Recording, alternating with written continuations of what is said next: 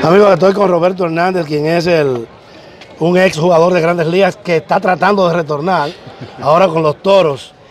Eh, Roberto, háblame un poco de cuál es tu proyecto aquí en la liga. No, primero dándole las gracias a Dios de darnos la, otra oportunidad de estar aquí con este equipo, dándole las gracias a los toros. Y estamos aquí a ver lo que puede pasar. ¿Cuál es tu rol? Estamos relevando. Está relevando, o sea, quiere decir que con ese potencial que tú mostraste en grandes ligas, esa experiencia que adquiriste, ¿tú crees que puede convertirte en un, en un lanzador de relevo que pueda ser exitoso? Sí, ya gracias a Dios me, me ha estado adaptando un poco al bullpen y tú sabes, como se dice, coger la pelota donde sea y seguir tirando, seguir tirando, lo importante es que estamos en salud.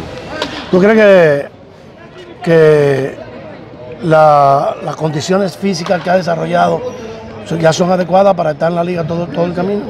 Sí, sí, gracias a Dios, sí. ¿No piensa cambiar de, de rol? ¿Siempre Oh. será relevo?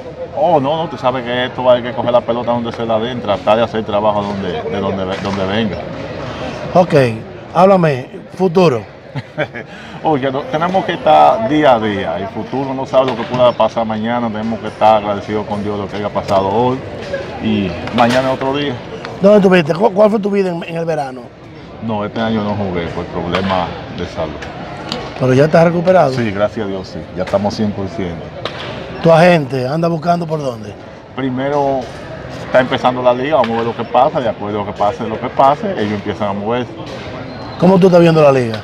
Fuerte. Usted sabe, sí, ya uno ha jugado, ha jugado su poquito aquí.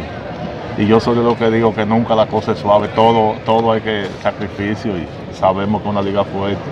Los toros como organización. No, estamos bien, estamos bien, gracias a Dios con ellos, los compañeros y todo el mundo hasta ahora nos hemos llevado bien. ¿Y en las águilas cómo te recibieron cuando tú llegaste aquí?